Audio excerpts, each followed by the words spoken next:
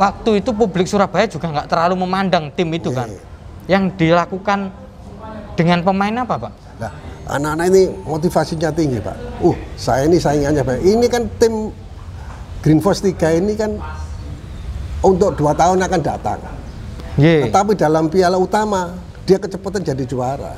Iya iya iya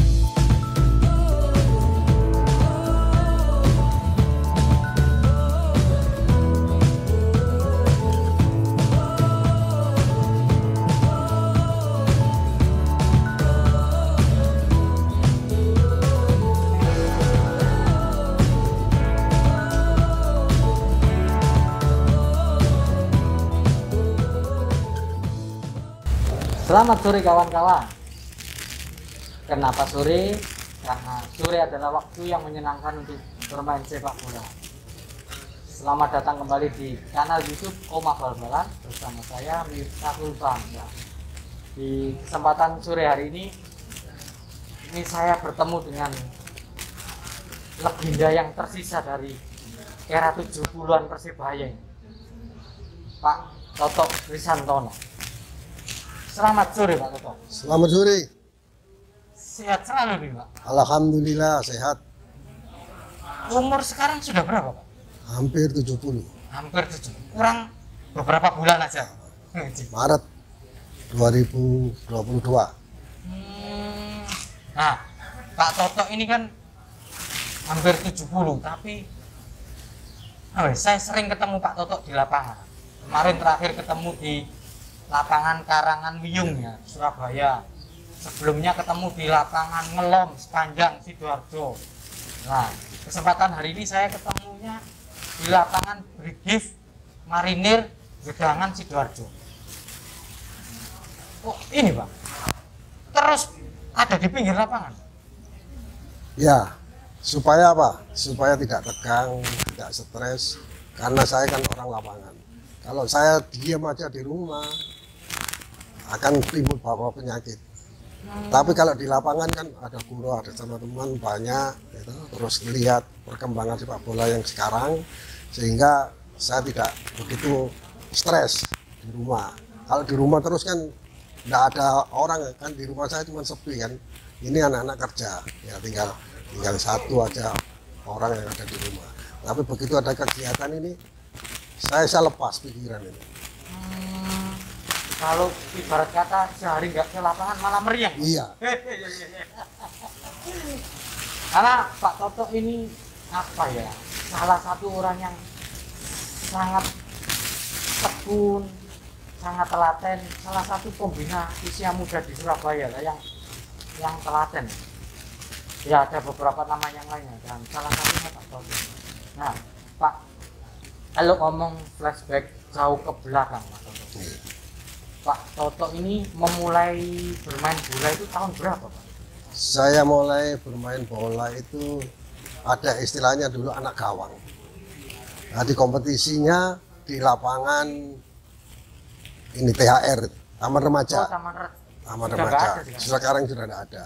Itu ada kompetisi anak gawang setiap hari Minggu pagi. Saya dulu ikut dia apa istilahnya ada nama Dinamo yang sekarang sudah tidak ada. Akhirnya saya di IM mulai usia kira-kira 13 tahun, 14 tahun, 15 itu sudah di IM sampai sekarang. Hmm, itu tahun 60-an berarti Pak ya? Ya, tahun 60-an. Hmm, ini Dinamo, Ya. turnamen anak gawang Anak gawang saya Surabaya. di Surabaya setiap Tiap hari Minggu pagi. hmm, dari situ Pak, kemudian IM terus terpantau Persibaya Junior itu. Ya, dari terus saya ke IM, terus terpantau di Persibaya Junior tahun 70, 72 sama 74 untuk uh, Suratin Cup. Tiga edisi Pak? Ya, 70, 72, 74. 74. Saya Umurnya berapa Pak kok bisa tiga edisi ini? Kan suratin biasanya U17 Pak. 17 tahun ya. Ya kira-kira saya paling muda lah saya dulu. Daripada teman-teman saya Pak almarhum Pak Subodro, Oh iya ya Pak Subodro ya. ya. Terus Pak Oscar Yonas, satu angkatan terus anu Pak Dilan, Dilan dari Tor, terus anu Pak ini siapa? Hmm, kiri Oscar Yonas Jadi satu angkatannya sama almarhum Subodro Pak? Ya, satu Di. Persebaya Junior 70 ya itu. ya. 72 terus saya jadi kapten di junior itu seangkatan Burhan terus Asik Oh terus iya. Purwanto Hmm. Hadi saya Ismanto. Adi Adi Sumanto Berarti yang 74 yang jadi kapten. 74 Hmm. Berarti masuk pertama 70 itu angkatannya Pak almarhum Pak Bodro ya. ya, terus. Terus 72, 74-nya ketemunya Hadi Ismanto, M Asik gitu. ya. Kapten. Istimewa berarti Pak Toto. Alhamdulillah. Lah, saya ini ini loh. Saya ini kan tekun. Maksudnya ada seleksi. Karena sekarang kan begitu tidak katut tidak ikut tidak dipilih mutu kalau saya enggak mesti saya tanya sama pelatihnya pak saya masih bisa latihan? Oh iya enggak apa-apa. Ini. Jadi sifat, anu, sifat saya itu seperti itu makanya saya bilang sama pemain-pemain sekarang jangan putus asa karena proses gitu. pemain bola itu tidak ujuk-ujuk jadi pemain tapi proses kalau kamu mutu pelatih oh pelatih ini tidak senang sama saya bukan mungkin nanti kamu dikasih kesempatan lagi gitu. ini si- sifat saya hmm, itu bisa bertahan di Ah. Persebaya Junior Ya. 70, 72, 74 Pak. Ya. Dan Pak Toto kemudian masuk di Klat Solotigo. Itu Ya. Tujuh berapa Pak? Masuk di Klat Solotigo Pak? 75 Itu angkatan awal atau gimana Pak? ya jadi 75 itu saya diseleksi di Salatiga waktu itu almarhum Bapak Sumantri yang punya Enko Richard Enko itu IM itu kan klub besar Pak di Jakarta kan ada juga pada Ye. waktu itu eh, ketua PSSI-nya Pak Anu Pak siapa waktu itu saya agak lupa itu ya terus ada diklat saya sama Pak di Surabaya kirim empat saya Hadi Ismanto Ali Saman sama satunya itu meninggal anak Suranaga Hmm, itu angkatannya kalau Surabaya itu tadi Pak ya.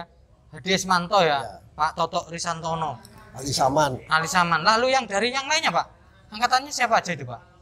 anu bu, anu Suprapta sekarang sudah ada aktif eh, pensiunan PLN terus di di Malang ada Kusnul Yakin J.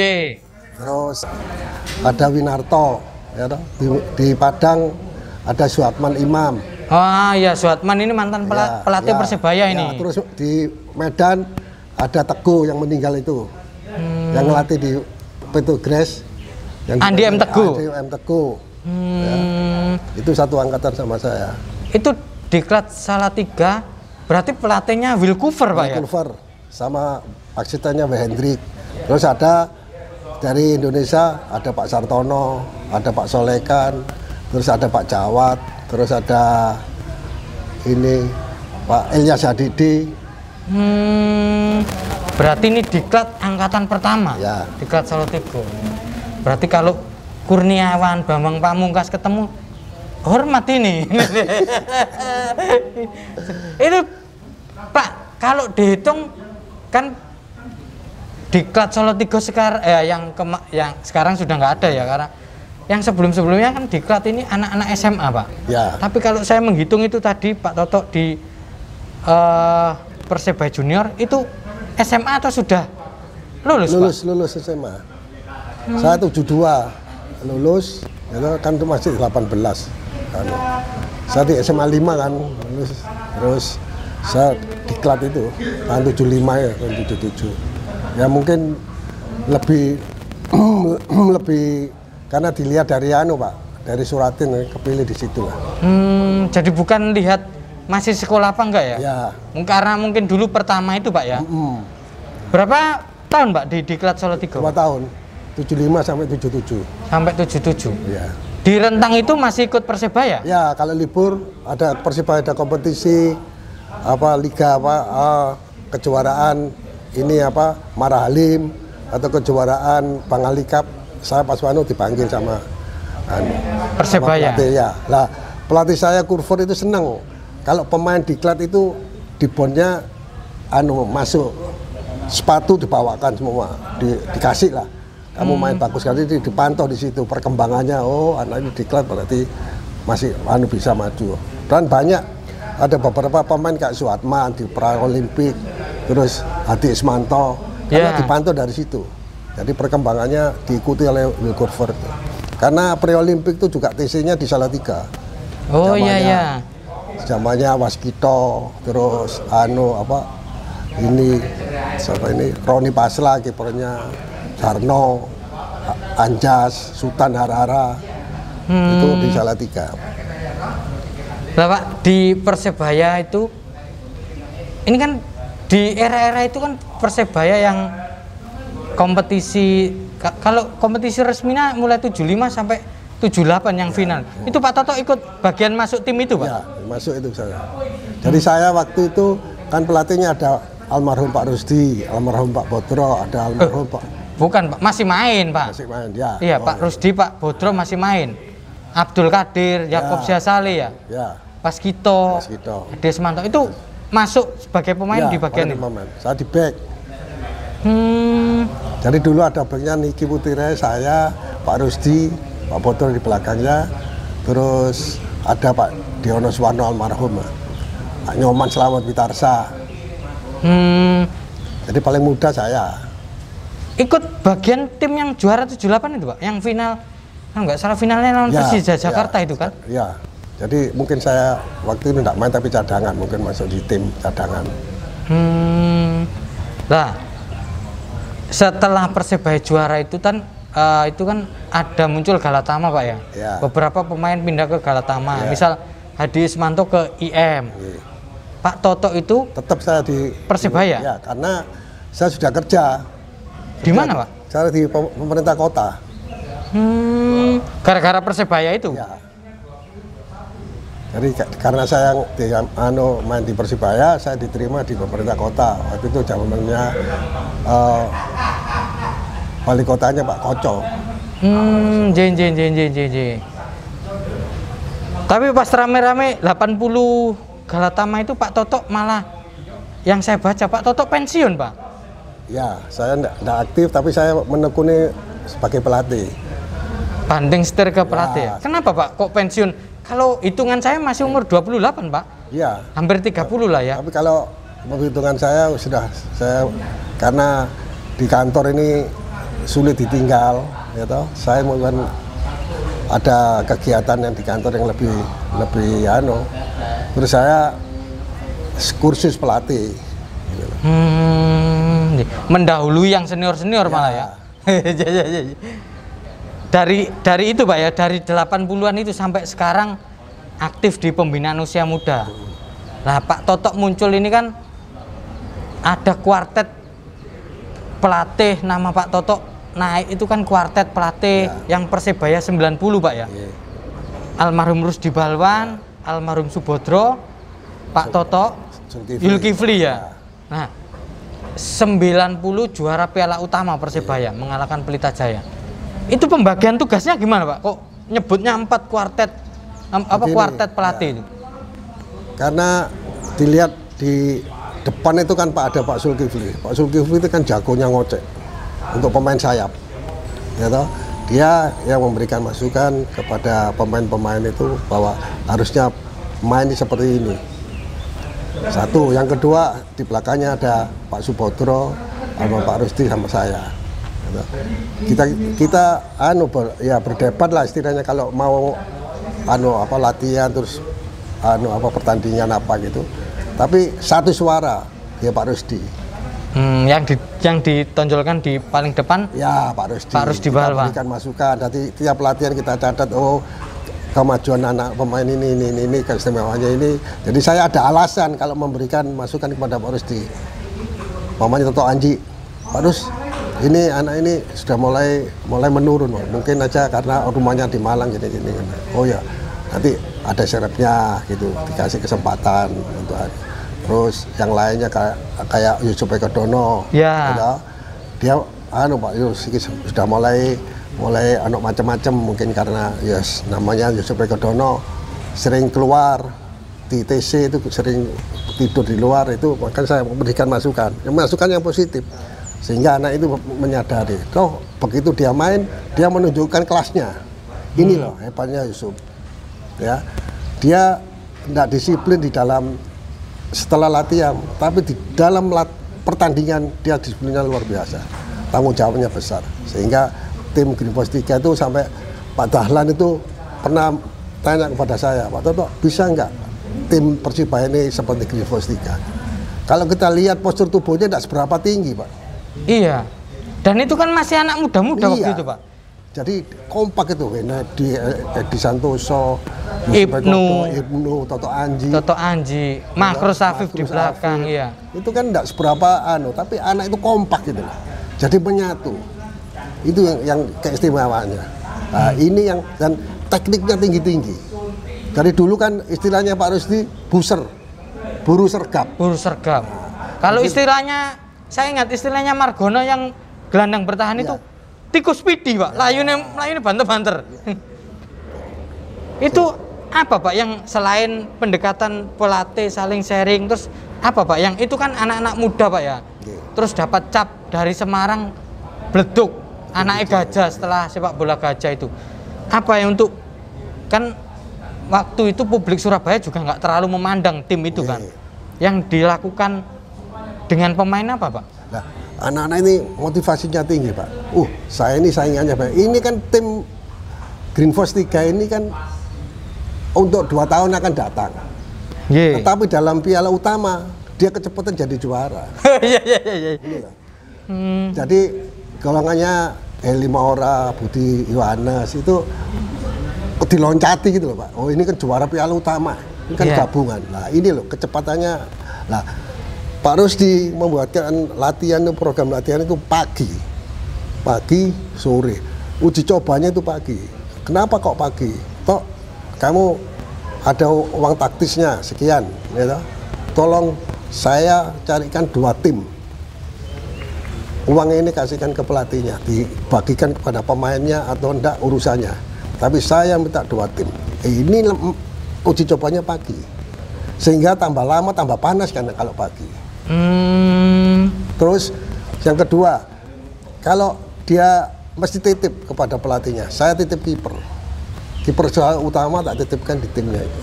Sehingga tidak mungkin tim lawan Persibaya bisa menang terus kedua kiper ini tidak tidak teruji. Saya titipkan di tim yang uji coba itu. Itu hmm, dan yang ketiga kalau kita tidak nyerang terus dikurangi pemain itu. Pemain Persibaya itu. Sehingga kita main 9 atau main 10 oh gitu. Nah jadi ini loh kejeliannya Pak Rusdi. jadi lawannya dua. Ya, Jadi pertandingan pertama terus mamanya IM, terus IM. kedua Bintang Timur. bintang timur gitu ya. Iya, jadi tegak, ini tidak diganti pemainnya. Pemainnya Persibayanya nggak diganti. ya. Oh. Kipernya dititipkan ke lawannya, kan diserang. iya, diserang temannya sendiri ya. Nah, itu pagi hari dilakukan. Karena apa tambah lama kan tambah panas pak. Kalau sore kan tambah lama tambah dingin. Ya. Itu kejeliannya Pak Rusdi. Hmm. Jadi ya- Akhirnya juara itu Pak ya, Jadi 90. visinya itu luar biasa, makanya disebut buser, buru sergap. Begitu kalah bola sudah rep, rep, rep gitu. Hmm. Sebetulnya kan ya kecil-kecil, tapi pinter-pinter pemain itu waktu itu. Ini loh Pak, yang jadi. Jadi tidak pernah membuat pelanggaran yang tidak berarti. Kena penalti, kartu merah, tidak pernah. Ini yang saya minta kepada pemain-pemain sekarang. Untuk pemain belakang harus sabar. Ye. Kalau kamu membuat kesalahan sedikit, kamu harus mengambil keputusan seberapa detik. Kamu harus mengambil keputusan kapan saya ambil, kapan saya delay. Ini yang anak-anak sekarang udah asal ngantem aja. Sehingga sering ada anu apa penalti, ada tendangan bebas. Beba- Karena sekarang kalau ada set piece, tendangan bebas, Di depan gawang. Mesti masuk. Masuk, iya. Hmm, ye. dan kiper juga gitu waktu itu Pak Rusdi kan jadi bola-bola crossing itu penting kapan dia megang kapan dia mukul itu harus seberapa detik dia mengambil keputusan oh ini tak pukul ini tak ambil ini loh nah, sekarang coba tadi samperusut Iya. kan tidak boleh tidak ada lawan gitu nah itu jelinya Pak Rusdi seperti itu Hmm. toh dia suka gini ya istilahnya Pak Rusdi itu kan ustadz. Ya. Kalau dapat rezeki itu dibagi. Hmm. Persibaya dapat bonus 50 juta menang.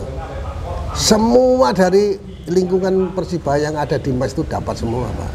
Bukan hanya pemain dan pelatih ya. Semua kitman bahkan satpam tukang bersih-bersih Iya. dapat semua. Hmm. Nah, itu yang mendoakan kita, Pak. Ya tak dongakno Persibaya itu Menang. Aku ben oleh bonus pisan. Iya iya iya. walaupun 150 walaupun 75 100 tapi dia merasa memiliki ini yang sekarang tidak ada ini.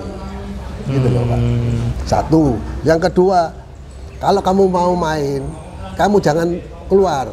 Lesanmu terus matamu lensa kamu terus uh kira wong ayu didoakan orang itu kamu kalah. Ya. jadi di- dia mau baca anu. terus dia ngomong ayo kita berjamaah sholat. Ini. Hmm, yang agama yang lainnya berdoa Iya, sesuai dengan agamanya agamanya masing-masing.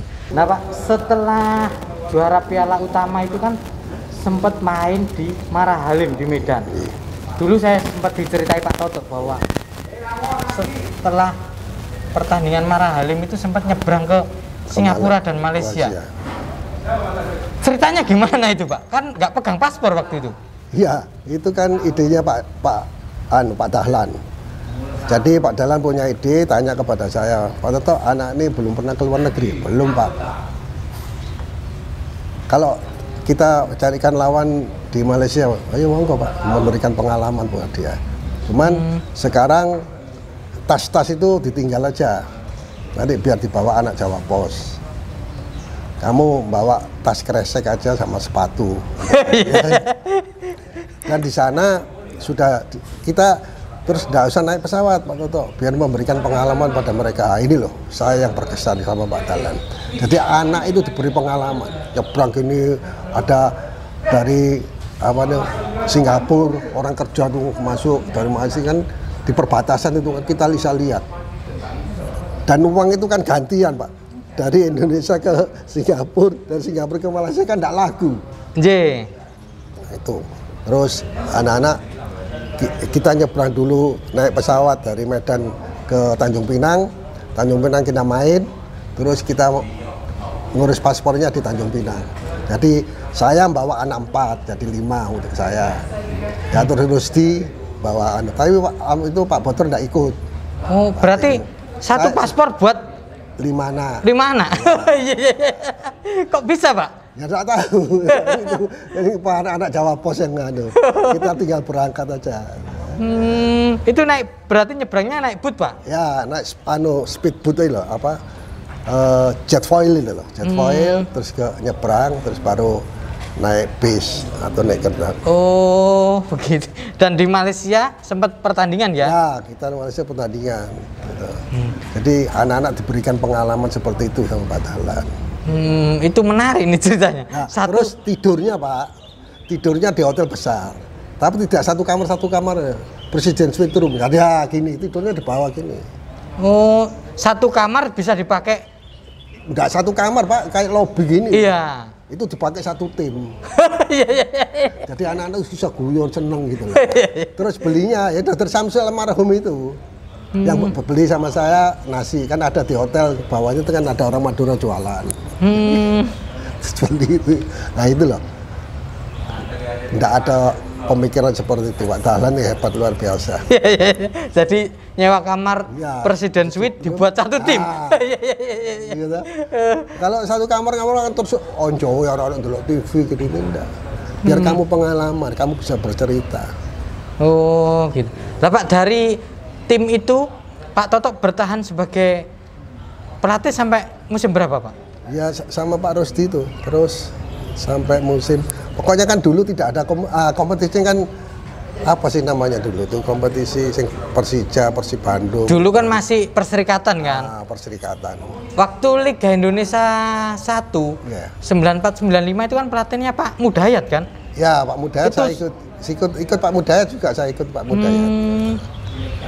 Lalu yang juara ikut nggak Pak? Yang 96 97? Enggak kak, enggak. Enggak ya? Yang musim berikutnya yang ikut ya? gitu. yang yang istimewa ini Pak yang Persebaya jadi runner up 9899 yang kalah sama PSIS Semarang itu saya ingat itu karena saya baca Pak Pak Rusdi kan ngelatih tim nasional Ya. Asistennya Ya, Pak Toto di ya. Persebaya Pak Toto akhirnya jadi pelatih kartekernya di Ya, Persebaya Pak iya. masih ingat itu Pak Ya, ya, ingat saya. Jadi saya tes tes kisnya saya sama Pak Dalan ngomong sudah kamu sendirian dia berangkat ke anu apa Barito main lawan Barito. hmm. Jadi saya berangkat Sabtu minggunya main kan. Nah, itu masih ada Musa Kalon sama Yosep Le- Lewono belakangnya ya Nah, di situ di Barito itu pelatihnya Rudi Kelces, Lulut Kistono sih main, masih main. jadi pemain belakangnya Barito ya hmm. Terus kita main di sana kita menang 2-1. Tapi di dalam perjalanan itu tuh kan akhirnya kan ada yang sakit. Itulah Bejo Sugiantoro. Haji Santoso cerita saya bahwa Bejo ini bukan sakit Pak, tapi ngidam istrinya yang Oh, iya. Rian itu. Ngidam. Yang Rian, Iya. hmm. Tapi namanya Pak Karwoto kan tidak mau tahu. Berarti pelatih ini tidak disiplin. Masa hotel sudah enak kok anak-anak masih jajan di luar. Hmm, padahal Bejo itu ngid- ngidam ya. Nah, terus dokter dokter Heri itu bukan dokter. Oh iya, dokter Heri ya, ya. Kita saya Pak Toto Bejo tidak bisa main. Kenapa? Muta-muta malam. Oh ya Pak Dok dijawab besok pagi aja. Nah, saya ingat bahwa di diklat dulu waktu pre-olimpik Korfor itu ta- pernah nyari pemain untuk gantinya Sultan Harara karena Sultan Harara kena kakinya tidak bisa main. Terus semua anak-anak diklat yang anu ditanya sama Korta, siapa gantinya Sultan Harara? Saya bilang Heri Murianto. Weh Heri Murianto, killer, pembunuh. Hmm, Percaya dipasang. Nah itu loh. Saya bilang sama pelatih-pelatih ngomong kepada orang mungkin masukan itu bagus.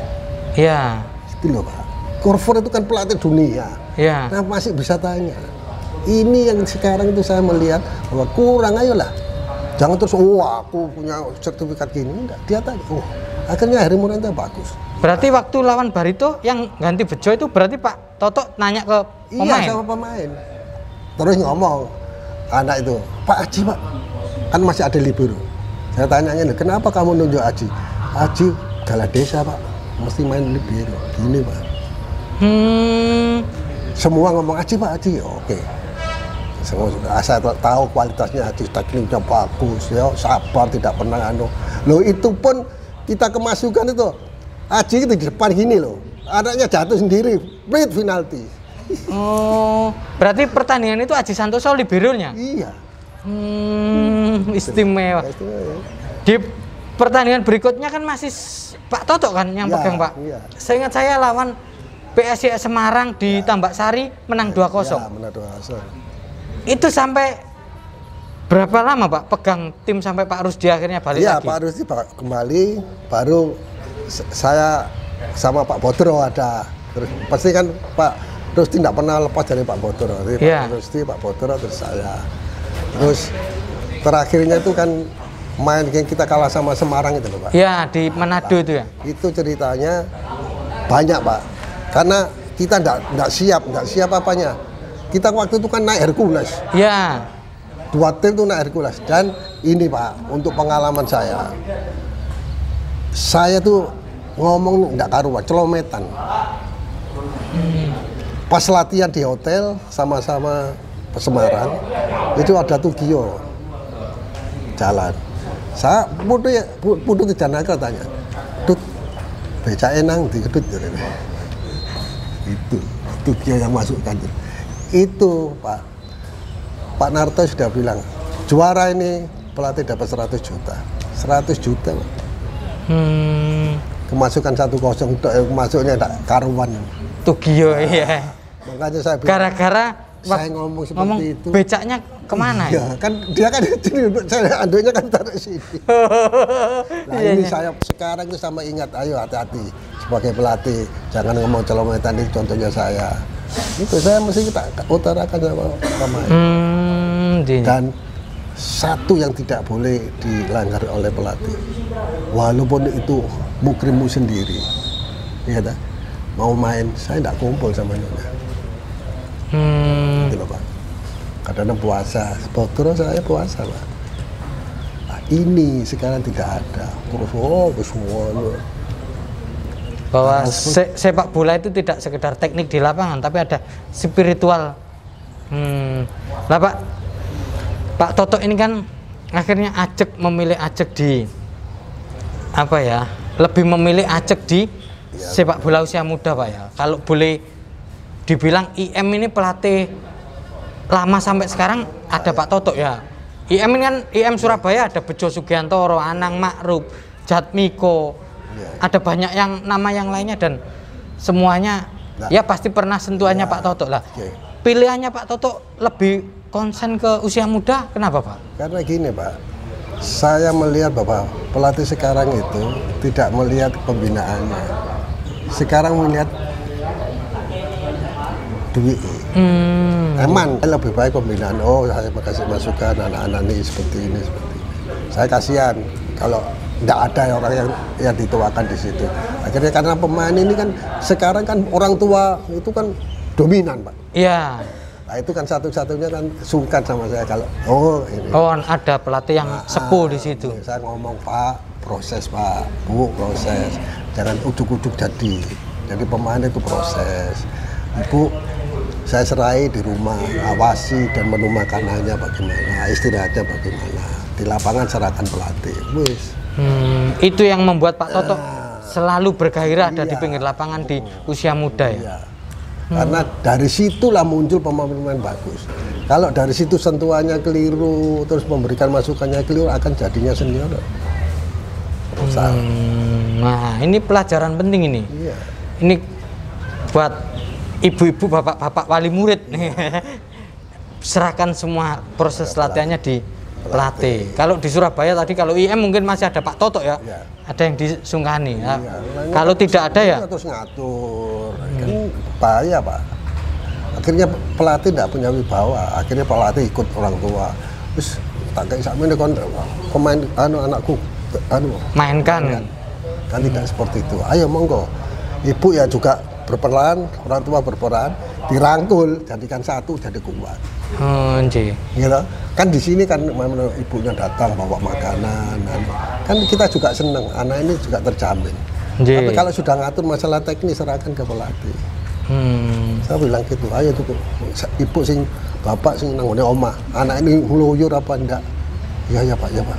Setelah saya titip pada ibu dan bapak pasti banyak kan saya ngeluarkan siapa aja Evan Dimas saya yeah. pegang saya pegang pelajar itu sama Pak Edi itu muncul Evan Dimas, Ovan, terus anu Misbaku Solikin. Iya, Solikin. Terus anu tuh apa yang back kirinya di di Madura United ya anak mitra. Oh, Andi Randy Karama. Randy Karama. Hmm. Banyak, banyak. Lah itulah saya bilang. Saya ngelatih anak-anak itu di Persibaya anu muda. Gitu. Saya bilang, uangnya kan sedikit pak. Iya. Mogok ditutup sama anu apa kasur. Kasurnya kan bisa diangkat ini. Hei tempatmu bukan di sini. Nanti di sana. Ini loh AC kan kan anak-anak kan tidurnya tidak ada AC-nya iya. Tempatmu di situ. Gitu loh. Satu. Yang kedua jangan mau tergini ini. Iya, iya. kasih motivasi gitu. Jadi semua. Hmm. tapi saya titip Jangan lupa sama orang tuamu. Itu yang jadikan kamu. Saya ngantar kamu, saya mendoakan kamu. Andi Firmansa. Ya. Sampai tadi, yuk ibu ngomong kanu kaji. Kayak ono anu kayak no tukuan. Jadi pak, tidak orang sing berusaha. Nah ini loh, makanya anu siapa pelatih pelatih ngomong itu. Jangan ngomong masalah teknik aja, tapi itu penting. Karena dari situ tuh anak sekarang tuh kalau tidak disentuh di situ. Karena apa? Dia percaya kamu daripada percaya orang tuanya. Ya. Oh pelatihku ngomong anu, mangannya sama ini, makannya sama ini, ini, ini. Tapi orang tuanya ngomong jangan anu, gak diraikan. Tapi pelatihnya lah itu kamu harus positif. Yang berikan kepada anak-anak itu harus positif. Kamu harus tidur jam sekian. Saya kasih contoh. Saya dulu main jam 10 sudah tidur, paling lambat. Hmm. Sekarang kan enggak, Pak. Iya, main handphone aja. Moro-moro jam 12 bengi. Nah ini. makanya saya titip kepada pembina-pembina itu ayolah jadi nawaitunya itu bina ya Iya. dari bola tidak bisa untung Hmm. harus berkorban kayak di persibaya ini ayolah nggak usah geger-gegeran ada pengurus anu ayo ya apa amatir ini bisa jalan putar kompetisi. Tidak ada kompetisi tidak muncul. Nggak muncul anak-anak. Nah, Hmm. gitu loh. Ayo pokoknya saya ngomong sama siapa ini? Eh, Asrul. Ayo rangkul. Nggak usah mewah-mewah. Gitu kompetisi dibuat dikemas bagaimana? Tidak semua ketemu semua tapi 20 tim itu dibagi 4 tim. Ketemu kayak review gitu. Ya. muncul pak. Hmm, nah ini Iya kan? ini obrolan banyak petua-petua menarik ini dari Pak Iya. Toto ini. Ini ayolah Asrul manggil saya manggil siapa tuh ngobrol saya enak gitu loh bagaimana kelanjutannya daripada Liga 1 kompetisi jalan muncul loh pak pemain anak-anak dari kompetisi internal Iya, Persebaya. gak tu- gak terlalu mahal-mahal Ya. iya kan Nah, dari situ harus ada kompetisi. Kalau tidak ada kompetisi tidak akan muncul. Karena apa? Kompetisi ini ada pressure, ada tekanan. Ya. Beda dengan Uji hanya coba. latihan uji iya, coba. Pak. Pasti mang, anu kamu harus menang. Nggak ono pelatihnya us kalah. Iya. Nah, Dari menang tuh pemain kan. "Wih, Hmm. Ayolah Pak Asrul, ayo ngomong sama kita kita ini. Wong kita ini nggak jaluk opo-opo. Ya. Karena kita ini lama di Persibaya. Saya apa gelem Pak? Saya ini loh, anu apa pensiunan pemerintah kota. Jadi saksi itu loh masalah Karanggayam. Karanggayam. Berani saya karena kebenaran Ya. gitu. Kalau saya udah loh balik lah, usah aku wong pemerintah kota kok aku dibagi. Tapi karena mulai dari saya main di situ tuh nggak ono sing ngutik. Wah ini kota Madia ini nggak ada. Toh lapangan itu dipakai untuk kompetisi, dipakai Untuk untuk, latihan. anak-anak Iya. Surabaya ya. Nah, Masa terus main di sini, main di Sidarjo. Pilot lah sampai delok, ih gampang Sidarjo iso ger ngurus kompetisi ya, terus diputar. Iya iya. Dari ke Persibaya. ayo ta. Nah. Ya, kan wali kota Barat, ayo duduk bersama. Gitu. Wong enggak dijual, enggak dibuat hotel, Iya. enggak dibuat musik, eh? Dibuat pasar pembinaan. Untuk anak-anak Surabaya. Anak-anak. Toh Persibaya, Persatuan Sepak Bola Surabaya. Baik jeleknya Persibaya, elek wali kota. Hmm. Nah ini ini pesan ini buat Pak Wali Kota, Iya, pesan Pak. buat Iya. manajemen Persibaya Iya, juga. iya, Ayo ngobrol, duduk bareng. Duduk bareng. Nah. Bagaimana anak-anak itu? Nggak, saya tidak setujunya Pak. Sekarang kan pemain turun di hotel. Iya. Itu tuh di mes. Kekurangan itu dia nambah sendiri. Tidak terlalu mewah, anggaran tidak begitu banyak. Itu loh Pak. Saya kan dulu gitu. Terus saya sanduting, iki loh turumu ono asini. Iya. Tapi kamu kalau sudah jadi, toh jadi. Jadi itu ketika pemain Persebaya ada di mes, mes yang kecilnya buat anak-anak junior, ada Ya. ada impactnya buat teman-teman yang Iya. pemain-pemain junior, Pak. Iya. Belajar. Cita-citanya jelas Itu itu. loh di sebelah. ya. AC-nya. Oh, jangan mau eh, ini loh. Ya, Sekarang gini. Masih kan eling aku gak eling. Ayo. Yang penting kali inilah hidup kalian.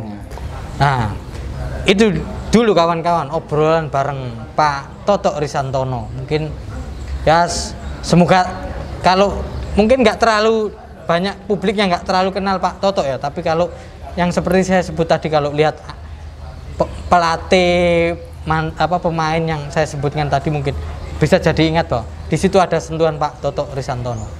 Itu dulu kawan-kawan, nanti kita bertemu dalam obrolan-obrolan yang lainnya bersama pemain, mantan pemain, pelatih, pegiat sepak bola Indonesia.